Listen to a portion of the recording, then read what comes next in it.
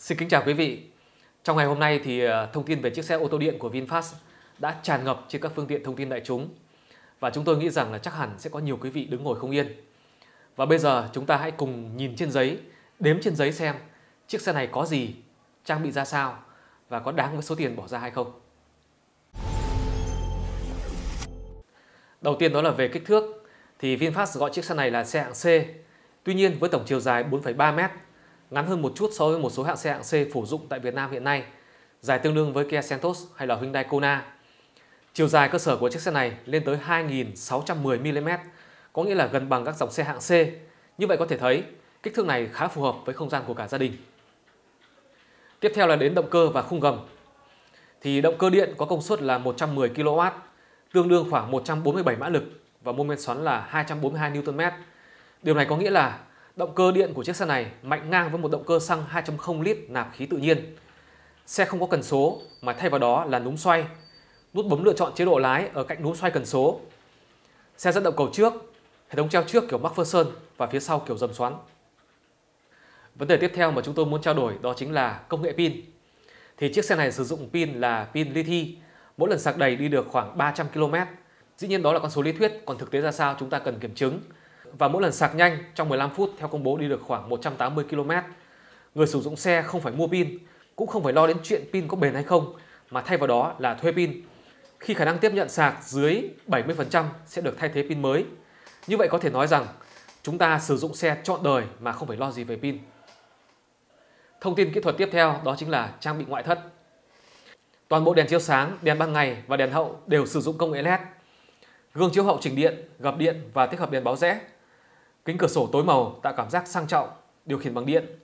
Kính chắn gió chống tia UV. Các trang bị khác phải kể đến là gạt mưa tự động, cốp đóng mở hoàn toàn bằng điện, cánh đất gió và nẹp bảo vệ thân xe. Tiếp theo là thông tin về mặt nội thất. Thì chiếc xe này được trang bị nội thất bọc da với các ghế điều chỉnh tay, vô lăng bọc da điều chỉnh 4 hướng, tích hợp đầy đủ các chức năng kiểm soát như menu, âm lượng, đàm thoại rảnh tay và hệ thống kiểm soát tốc độ tự động Cruise Control. Bảng đồng hồ là màn hình điều khiển TFT LCD kích thước 7 inch. Xe được trang bị hệ thống điều hòa tự động một vùng, có chức năng lọc không khí bụi mịn, có cả cửa gió điều hòa cho hàng ghế sau. Chưa biết xe thực tế ra sao, nhưng hình ảnh cho thấy gối tựa đầu không chỉnh được độ cao. Tiếp theo là thông tin về hệ thống giải trí.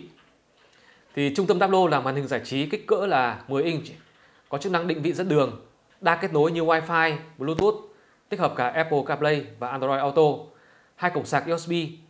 Đi cùng với màn hình này là hệ thống âm thanh có 6 loa. Tiếp theo là thông tin về chức năng kiểm soát thông minh. Thì chiếc xe này được trang bị hàng loạt chức năng kiểm soát thông minh, có thể kể ra như định vị vị trí xe, tự động chẩn đoán và cảnh báo các vấn đề về xe, chẩn đoán và hỗ trợ chăm sóc khách hàng từ xa, lên kế hoạch hành trình, gọi các dịch vụ cứu hộ khẩn cấp, định vị và tìm đến trạm sạc đại lý và rất nhiều thông tin quan trọng khác. Tiếp đến là danh sách trang bị an toàn của chiếc xe này, cực kỳ dồi dào và phong phú.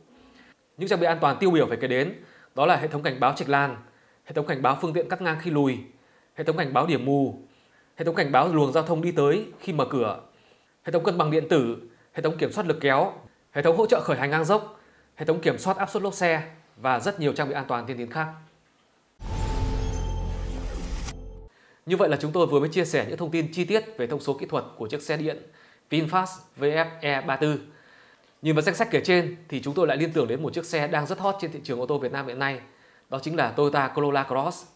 Không hiểu quan điểm của quý vị thì sao và so sánh thông số của chiếc xe này với chiếc xe mà quý vị đang dùng thì sẽ như thế nào? Mong quý vị hãy chia sẻ bằng cách để lại bình luận bên dưới. Cảm ơn quý vị đã theo dõi chương trình. Cảm ơn quý vị đã ủng hộ tiếp ca. Quý vị đừng quên bấm đăng ký và rung chuông để không bỏ lỡ bất kỳ video mới nào của chúng tôi trong tương lai. Thân ái chào tạm biệt và hẹn gặp lại.